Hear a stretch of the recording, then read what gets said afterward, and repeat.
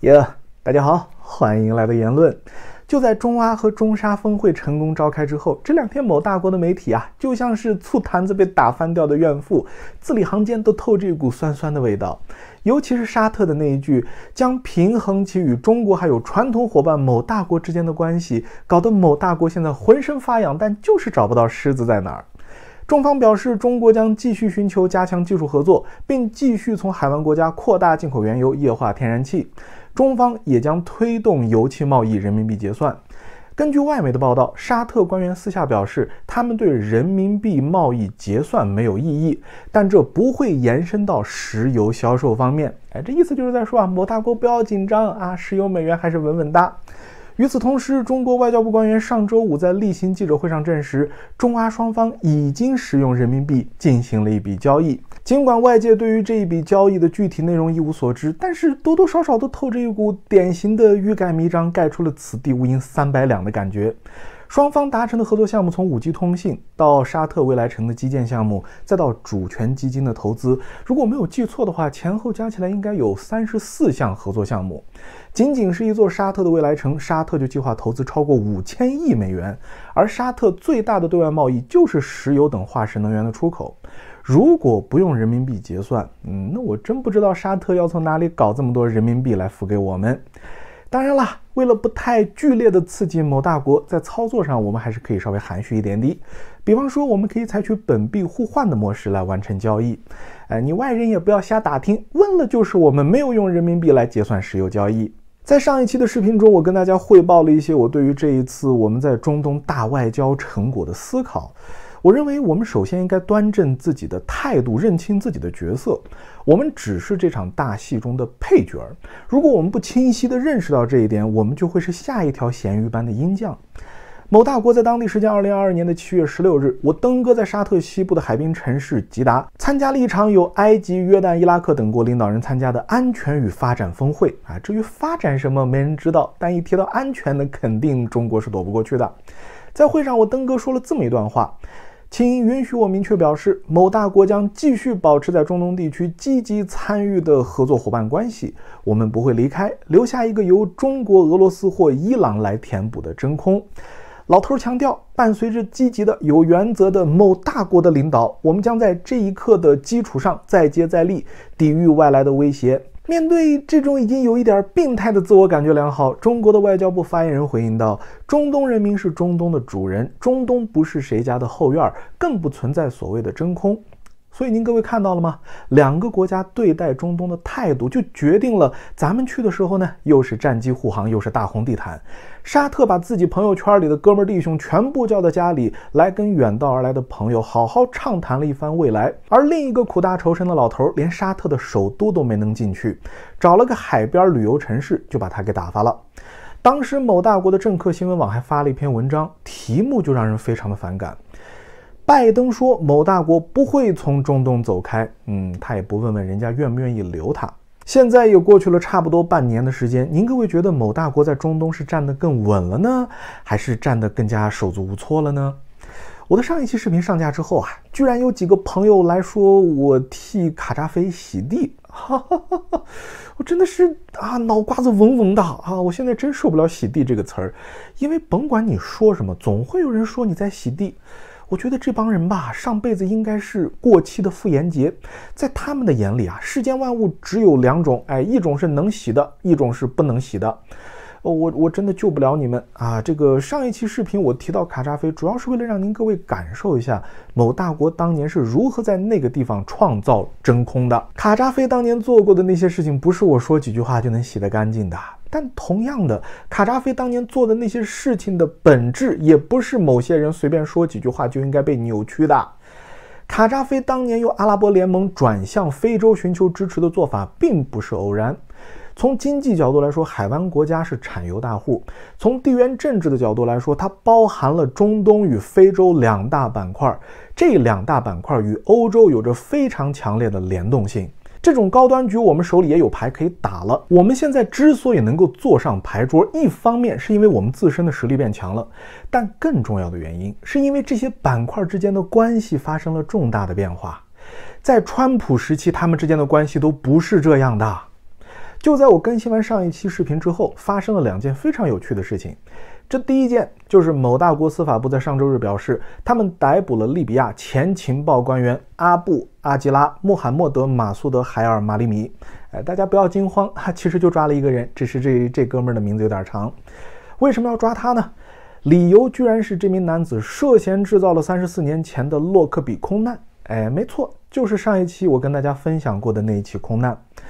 某大国司法部说，一九八八年十二月，据说马苏德在马耳他的一个机场放下了一个手提箱，里面装着一枚炸弹，炸弹的计时器被设置为第二天爆炸。然后又据说，这只手提箱是由另外一名前利比亚情报官员托运的。故事说到这儿啊，我又要说那句我最喜欢的话了，那就是江湖上发生的每一件事情都绝非偶然，每一件事情的背后都有它的逻辑存在。听到这儿，可能有很多朋友认为这起袭击事件是不是一直没有结案，是不是一直没有调查清楚？呃，即便卡扎菲本人的坟头草大概已经这么高了吧？啊，这个重视法律程序正义的山甸人依旧要查明真相，还逝者一个公道。呃，但是事情的真相还真就不是这样啊！你们真的误会山甸人了。我上一期视频也跟大家分享过，卡扎菲在看到萨达姆被某大国送走之后，惶惶不可终日，最后选择妥协，主动放弃了大规模杀伤性武器，并在2022年的8月7日同意对1988年那起导致270人丧生的洛克比空难事件负责，并向洛克比空难事件遇难者家属作出赔偿。这两件事情之后，某大国和利比亚的关系才最终得以缓和。如果卡扎菲最后不搞非洲合众国，搞金本位的非洲通货，没准啊，老卡现在还健在。我记得应该是在二零零一年，当时有许多的欧洲媒体，呃，具体是哪一家最先报道的我不记得了，呃，好像是《民进周刊》或者是英国的《卫报》。当时媒体截获了利比亚外交官向英国外交官认怂的一段通话记录。这段记录里面呢，呃，基本上当时利比亚方面就已经把整起袭击事件的前因后果，还有实施的细节都和盘托出了。当时利比亚方面谋求的就是英国还有某大国能够放松对利比亚的制裁。所以说，这个敏感的时候，某大国突然又去炒一碗三十多年前的冷饭，与其说是替死难者讨回公道，不如说是提醒一些还活着的人，老卡当年是怎么没的。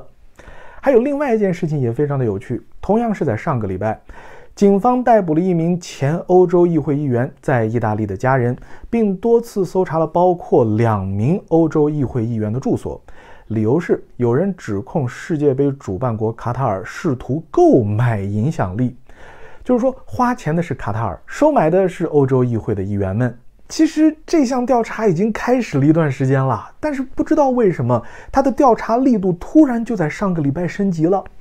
突击检查之后，比利时法官上周日指控了四名不具名人士参与犯罪组织、洗钱和腐败，吓得欧洲议会多位议员连夜辞职，以至于欧洲议会没有办法直接暂停了于下周举行的关于授予卡塔尔国民免签证旅行待遇的投票。整个操作手法呀，我们中国人再熟悉不过了，就像是当时中欧投资协定在签署前夕，忽然就跳出来一帮人指责你人权有问题，你自由有问题啊，最后中欧投资协定就这么不了了之了。欧洲有一些政客最近正玩了命的批评卡塔尔对同性恋的立场，对移民工人的待遇，以及利用其财富来提高世界地位的做法。